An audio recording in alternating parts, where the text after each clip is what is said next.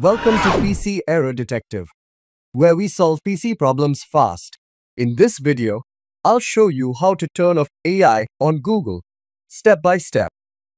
If you enjoy our content, please subscribe to the channel for more helpful tutorials. Method 1. Disabling Google AI Overview. Step 1. Start by clicking on the three dots menu in the upper right corner of your Chrome browser.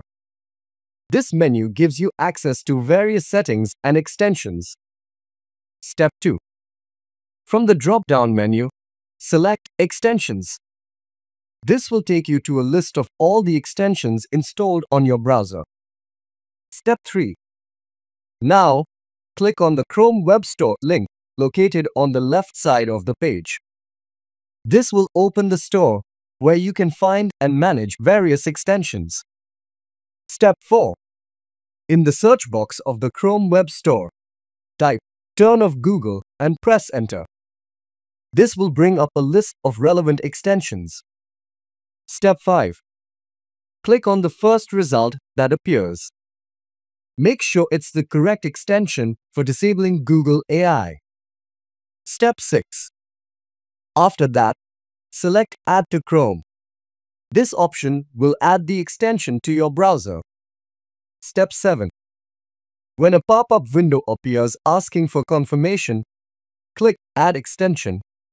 This confirms that you want to install the extension and turn off AI features. Method 2. Enabling slash disabling the extension. Step 1.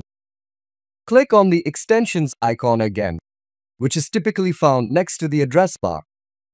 Step 2. Next, click the three dots next to the Hide Google AI Overview option. This will give you more options related to that extension. Step 3. From there, select Manage Extension. This will take you back to the Extensions page where you can modify settings.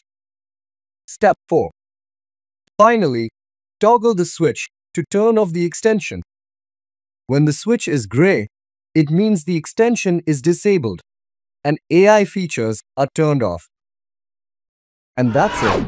Thanks for watching and stay tuned for more videos.